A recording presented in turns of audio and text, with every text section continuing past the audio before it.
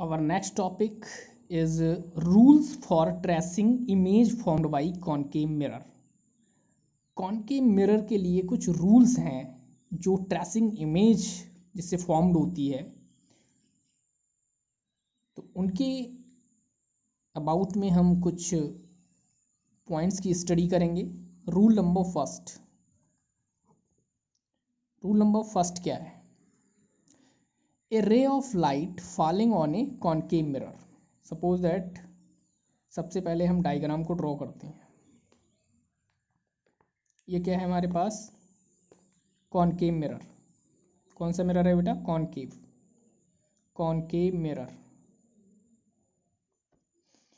ए रे और ये हम सबसे पहले ले लेते हैं यहाँ एक प्रिंसिपल एक्सिस ये प्रिंसिपल एक्सिस है तो ये प्रिंसिपल एक्सिस है तो ये पॉइंट हमारे पास हो जाएगा पोल ठीक है? और ये इंसिडेंट रे है।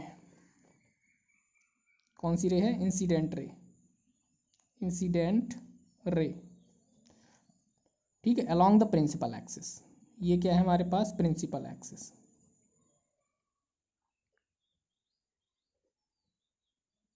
ठीक है? अब रे इंसिडेंट होती है इस कॉनकेव मिरर पर, ठीक है? और रिफ्लेक्टेड हो जाती है ये, ठीक है? इस डायरेक्शन में। तो जहाँ ये रिफ्लेक्टेड होती है, ये रिफ्लेक्टेड रे है। कौन सी रे है? रिफ्लेक्टेड रे रिफ्लेक्टेड रे है रिफ्लेक्टेड रे जिस पॉइंट पर मीट होती है, वो पॉइंट होता है फोकस क्या होगा? फोकस और इसके बीच ये यहाँ हम ले लेते हैं सेंटर ऑफ़ कर्वेचर यहाँ सपोज़ करो एक नॉर्मल डाल दें यहाँ, ठीक है? तो ये एंगल ऑफ़ क्या होगा? इंसिडेंस और ये एंगल ऑफ़ क्या हो जाएगा? रिफ्रैक्शन ठीक है? एम और एम डैश क्या है हमारे पास? एक कॉनकेव मिरर ठीक है? तो फ़र्स्ट रूल कहता क्या है? फ़र्स्ट रूल कहता है हमारा a ray a ray of light a ray of light. So a ray of light falling on falling on a concave mirror. Along the parallel of yeah along the principal axis principal axis of the mirror passes actually through the principal focus through the principal focus f of the mirror तो बेटा ये rule हमारा क्या है? First है। Rule first क्या कहता है? जब कोई incident ray falling on the concave mirror parallel to the principal axis या along the principal axis along the parallel to the principal axis of the mirror passes actually through the principal focus of the mirror ठीक है? तो ये rule number first है। यानी incident और ये reflected ray क्या होगी? कन्वर्ज होगी एट द पॉइंट एफ़ पर। यही हमारा प्रिंसिपल फोकस है। ठीक है? नेक्स्ट रूल है हमारा if a ray of light incident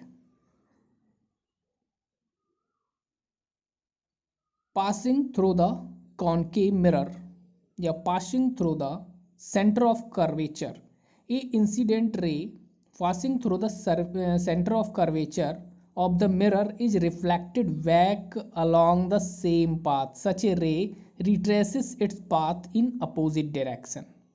ठीक है? यानी ये रे इंसिडेंट होती है और पढ़ने के बाद ये कॉनके मिरर पे पड़ती है और सेम पाथ पे रिफ्लेक्ट हो जाती है। ठीक है? Next rule rule number third है if a ray of light या incident ray of light on a concave mirror passing through the focus. If a incident ray passing through the focus f and fall on the mirror then after reflection it becomes parallel to the principal axis okay? तो यहाँ जो incident ray है, पास होती है किससे? Focus से, और इस कॉन के मिरर पर पड़ती है? तो आफ्टर द रिफ्लेक्शन ये कैसी हो जाएगी? पैरल हो जाएगी किसके? प्रिंसिपल फोकस के आफ्टर द रिफ्लेक्शन रिफ्लेक्शन के बाद। नेक्स्ट और लास्ट पॉइंट है rule number four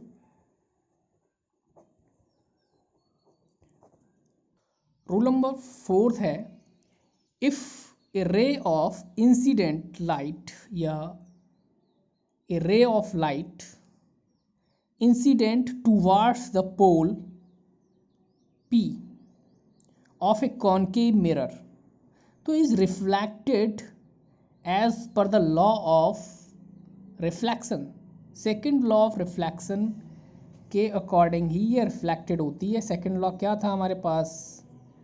Angle of incident is equal to angle of reflection. So this is the four basic law or rules for tracing image formed by concave mirror. Okay.